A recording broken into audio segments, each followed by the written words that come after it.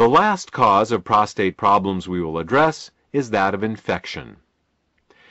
In addition to cancer, the prostate is susceptible to bacterial, viral, fungal, and parasitic infections. You will recall that ellagic acid is the ingredient used in endosterol to decrease cancer risk, but it does much more than that.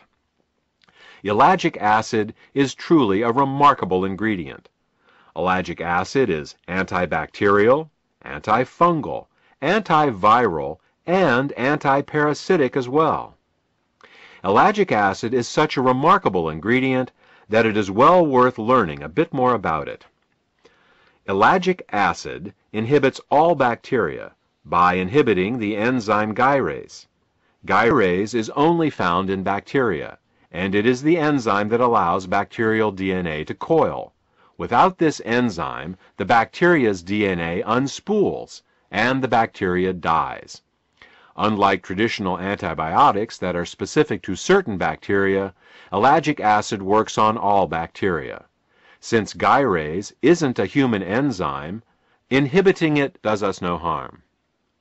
Ellagic acid inhibits fungi and yeast by inhibiting the enzyme chitin synthase 2. Almost all fungi and yeast cell walls are built out of a polysaccharide called chitin, and chitin synthase 2 is the enzyme they use to make chitin.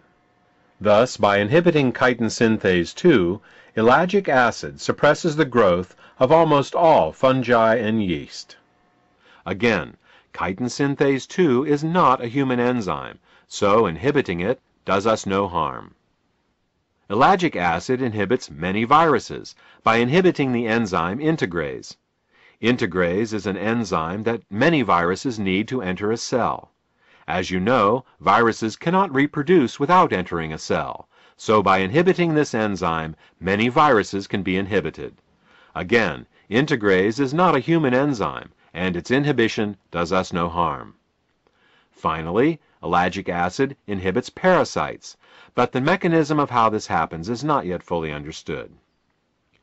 While many people believe parasitic infections to be limited to third world countries, many people harbor millions of intestinal parasites their whole lives without ever knowing it.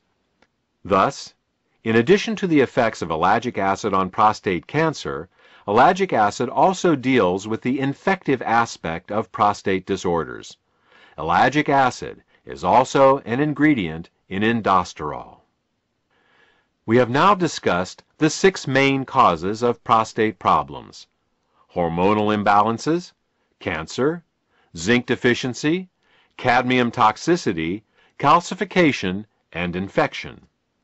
We have also discussed the ingredients best suited to deal with these problems, namely beta-sitosterol, ellagic acid, pumpkin extract, and EDTA. The last question to be answered is, in what form should these ingredients best be administered?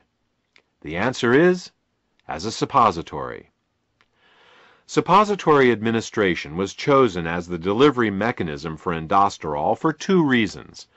Firstly, rectal absorption is recognized as being some 20 times greater than oral absorption. Secondly, and more importantly, has to do with the location of the prostate.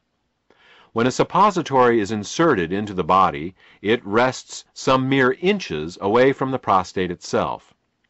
It is this ability of a suppository to deliver ingredients directly to the prostate that makes it the optimal method of administration.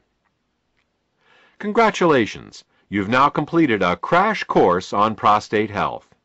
You know the six main causes of prostate problems, as well as what ingredients can be taken both preventatively and therapeutically.